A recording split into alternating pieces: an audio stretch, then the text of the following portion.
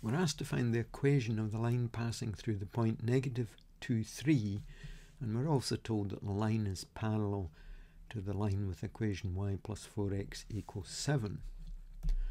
Now, a little reminder, if we know a line passes through a point AB and it has gradient m, then its equation is y minus b equals m times x minus a.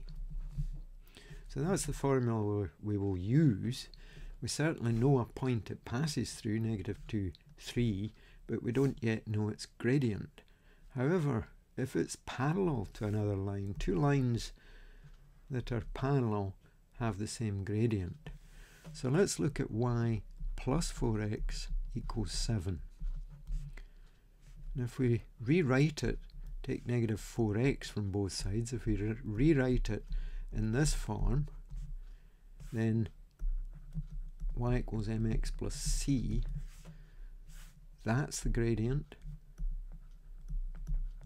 and this is where it crosses the, the y-axis. We're not needing this part, but we certainly do need the gradient. So that implies uh, gradient is negative 4. So line, required line,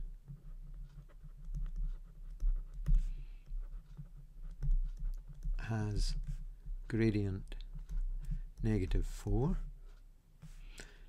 and passes through, as we're told,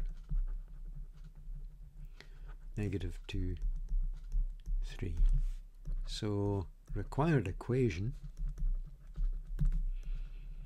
is, and we'll use this. So y minus b, that's 3 in this case, equals gradient m, which we know is negative 4, times x minus the x coordinate, so x minus negative 2. That's x plus 2. And a little bit of tidying up is required. Get rid of the brackets. Negative 4x and negative 4 times positive 2 is negative 8. So let's add 3 to both sides. y equals negative 4x and 3 added on to negative 8 is negative 5. So there's one form of it. Or y plus 4x equals negative 5 would, would also do. So that's the required equation. y equals negative 4x minus 5.